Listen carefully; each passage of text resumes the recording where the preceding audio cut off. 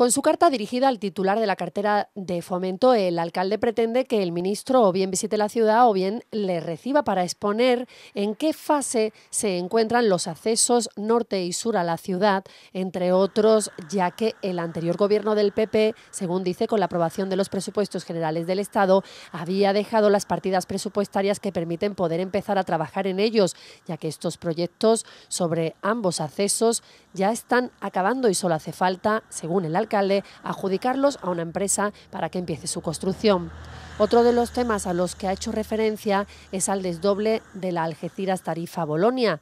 el que se encuentra para redactar el proyecto definitivo y con respecto al tema del ferrocarril, la andaluce recuerda que se puede ir adjudicando obras perfectamente. En los presupuestos generales del Estado que ya dejó el gobierno del Partido Popular estaban las partidas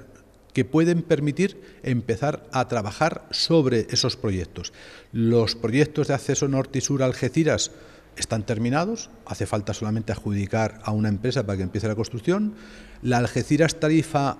Bolonia está para redactar el proyecto definitivo y después el ferrocarril se puede ir adjudicando obra perfectamente porque tiene partidas suficientes, porque además estas obras no se pagan en un año, se pagan en varios años. Solamente hace falta adjudicar la obra y empezar los tramos. Además, en su carta, la andaluce le ha trasladado al ministro la gran preocupación, dado el estado en el que ha quedado el nudo ferroviario de la zona de Ronda Bobadilla por las fuertes lluvias de días atrás que causaron importantes desperfectos en la conexión ferroviaria, ya que han sido interrumpidas las comunicaciones por ferrocarril durante al menos tres meses, pero han advertido que este periodo temporal se puede alargar. Para finalizar, la andaluce reiteró la necesidad urgente de conocer los avances y los plazos establecidos por el Ministerio de Fomento para los importantes, grandes y necesarios proyectos de infraestructuras que a su juicio tiene Algeciras y el campo de Gibraltar.